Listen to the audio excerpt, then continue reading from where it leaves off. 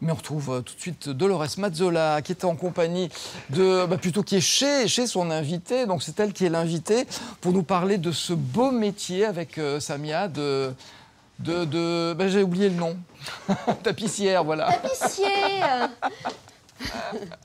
Oui, Alain, bah, je vois que vous suivez, mais bon, c'est juste. Hein. Samia va vous taper sur les doigts hein, tout à l'heure.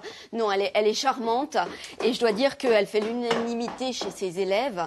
Euh, Samia qui va nous parler encore une fois un petit peu des étapes de ce métier, comment on restaure un fauteuil, un fauteuil d'époque, un fauteuil plus contemporain. Voilà, il y a des étapes clés à respecter, n'est-ce pas Samia? Absolument. Alors, les étapes clés pourquoi on doit les respecter? Parce que c'est un métier d'art. Alors, c'est un métier d'art et d'autre part, si on ne les respecte pas, on peut avoir très rapidement un fauteuil qui en défaillance. En défaillance, ça veut dire qu'on est mal assis euh, Qui s'abîme très très vite. C'est-à-dire ah. que dès l'instant où on a quelque chose qui ne fonctionne pas au départ, on le retrouve sur tout, tout, le, tout, toute l'architecture du, travail. Euh, du travail. Alors, on, est passé un petit peu tout à l'heure au milieu de vos élèves. Il y en a deux qu'on n'a pas trop trop vus. On les verra un petit peu plus tard à la fin de l'émission.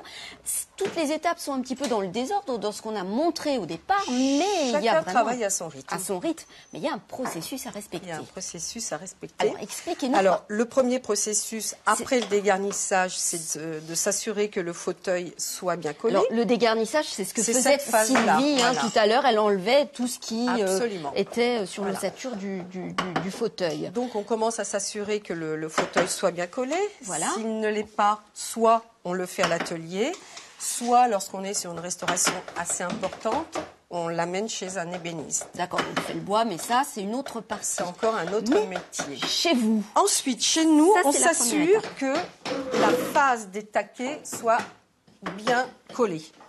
Bien collé, d'accord. C'est-à-dire que les taquets, c'est cette partie du fauteuil qui supporte toute l'assise. D'accord, c'est tout petit. Hein. C'est tout petit, mais ça supporte la garniture. D'accord. Ensuite, ensuite, on s'attelle au sanglage. Alors le sanglage, j'allais dire moi, c'est le fond. C'est le fond, c'est ces sangles.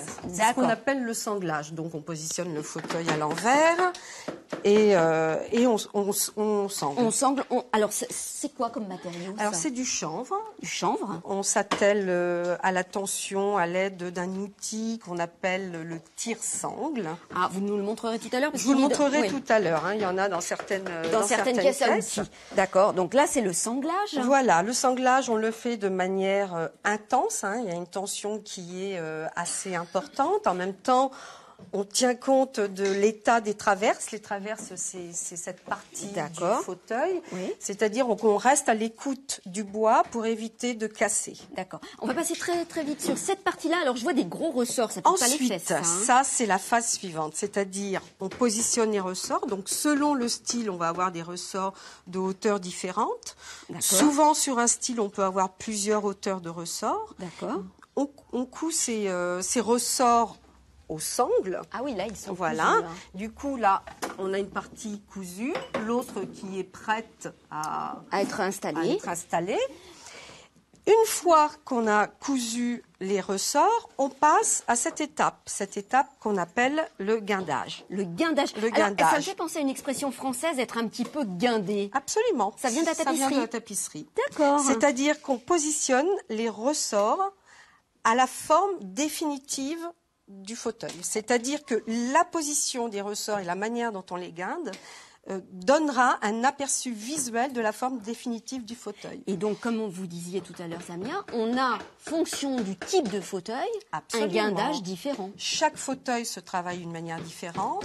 Chaque fauteuil, on met des ressorts différents on s'adapte vraiment au style du fauteuil. Donc ça demande effectivement une connaissance de l'histoire des styles assez, euh, ça aussi. poussée. Et ça, là, on, en vient un petit peu à votre formation. Au départ, c'était l'histoire de l'art. Hein. C'était l'histoire de l'art. Et là, alors là, quel est le style de ce, ce, fauteuil Là, on est sur un médaillon Louis XVI, cabriolet médaillon Louis XVI. Hein. C'est un petit peu le, pendant de, la chaise que Florence fait. D'accord. Hein, on est sur, euh, sur la même époque. Bon, on verra les étapes suivantes parce qu'elles sont tout aussi complexes et très importantes pour être bien assis on, voit ça tout à l'heure, Samia On voit ça tout à l'heure. Allez, à tout à l'heure, Alain. Oui, alors Dolores, moi, je vous invite à ne pas vous asseoir sur ce siège qui ressemble fort à un siège éjectable, si vous voyez ce que je veux dire. Allez, on vous retrouve tout à l'heure.